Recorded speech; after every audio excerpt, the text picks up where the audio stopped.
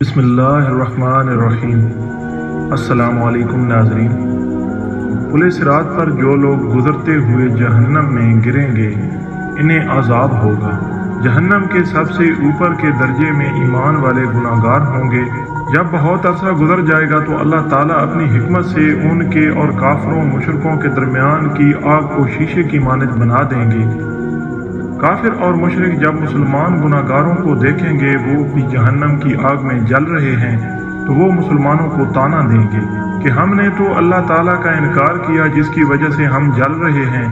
लेकिन तुम लोग तो खुदा के मानते थे, रसूलुल्लाह सल्लल्लाहु अलैहि वसल्लम को मानते थे, और इसके बावजूद भी हमारी तरह जल रहे हो। आपका खुदा आपके किस काम आया? हदीस पाक में आया है कि जब जहनमी काफिर मुसलमान गुनागारों को ताना देंगे तो अल्लाह ताला जब्राईल सलाम को बुलाएँगे और फरमाएँगे, ए जब्राईल आज हमारे मानने वालों को ताना दिया जा रहा है कि उनके साथ भी वही सलूक हो रहा है जो नाम मानने वालों के साथ हो रहा है। जाओ ज़रा जहन्नम से हालात मालूम करके आओ। चुनाचा जब्राईल सलाम जहन्नम में जाएँगे। जहन्नम के दरवाजे पर दारोगा खड़े होंगे। वो दरवाज़ा खोलकर हज़रत जब्राईसम को अंदर दाखिल करेंगे। जब वो गुनागार मुसलमान उनको देखेंगे तो वो फरिश्तों से पूछेंगे कि ये कौन हैं? उस वक्त इनको बताया जाएगा कि ये वो फरिश्ते हैं जो तुम्हारे पैगंबर अलैहिस्सलाम के पास वही लेकर जाते थे। जब उनके पास नबी रहमत का तस्करा किया जाएगा तो उस वक्त गुनागार लोगों को नबी सलाम की याद आएगी और वो कहेंगे, वाह मोहम्मद जहनवी लोग इन अल्फाज में जब्राईसम को रोकर कहेंगे ए जब्राईसम आप नबी अलैहिस्सलाम के पास अल्लाह का पैगाम लेकर जाते थे। आज हम गुनागारों का पैगाम भी हमारे सरदार सल्लल्लाहु अलैहि वसल्लम को पहुँचा दे कि आका आप तो हमें भूल ही गए। हम जहन्नम की आग में जल रहे हैं और आप जन्नत के अंदर हैं। जब्राईसम इनके साथ वादा करेंगे कि आपका पैगाम अल्लाह ताला के महबूब को ज़रूर पहुंचाऊँगा। चुनाचा जब्राईलम जहन्नम से बाहर आएँगे तो अल्लाह रब्बुल इज़्ज़त फरमाएँगे जब्राईलम आपने मेरे महबूब सल्लल्लाहु अलैहि वसल्लम के गुनागार उमतियों से जो वादा किया है, इस वादे को निभाना ज़रूरी है। लिहाजा जब्राईसम जन्नत में जाएँगे। उस वक्त नबी सल्लल्लाहु अलैहि वसल्लम जन्नतुल फिरदौस में अम्बिया की मजलिस में मिंबर पर तशरीफ़ फरमा होंगे। जब्राईसम को जब आता देखेंगे तो फरमाएँगे जब्राईल आज कैसे आना हुआ?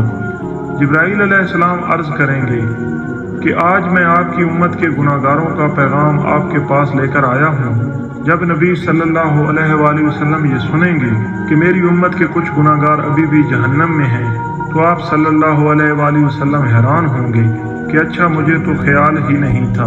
चुनाचा नबी सल्लल्लाहु अलैहि वसल्लम उसी वक्त अल्लाह रब्बुल इज़्ज़त के हजूर सजदा फरमाएँगे और अल्लाह रब्बुल इज़्ज़त के सामने कहेंगे ए परवरदिगार मेरी उम्मत के गुनागारों को मुआफ़ फरमा दीजिए। अल्लाह ताला इनको शफात किबरा की इजाज़त फरमाएँगे कि ए मेरे महबूब जिसके बारे में चाहे शफात हम उसको जहन्नम से निकाल देंगे। शफात किबरा की ये खुशखबरी सुनकर नबी जहन्नम की तरफ़ चलेंगे।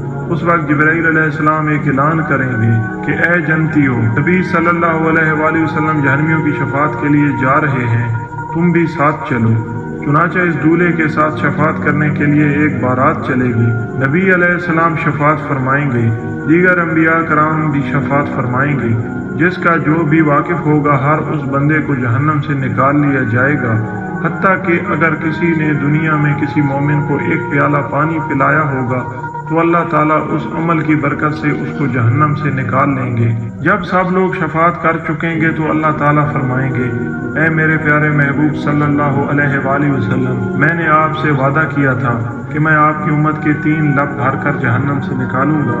चुनाचा अल्लाह रबुल इज़्ज़त अपनी कुदरत के दोनों हाथों से जहन्नम से तीन लब भर कर निकालेंगे।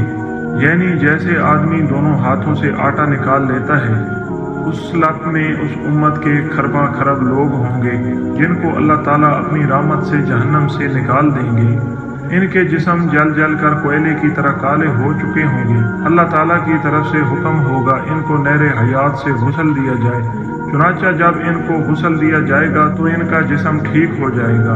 लेकिन इनके माथे पर अतकाउ रहमान का नाम लिख दिया जाएगा। इसका मतलब ये होगा कि रहमान ने अपनी रामत से इनकी बख्शिश कर दी।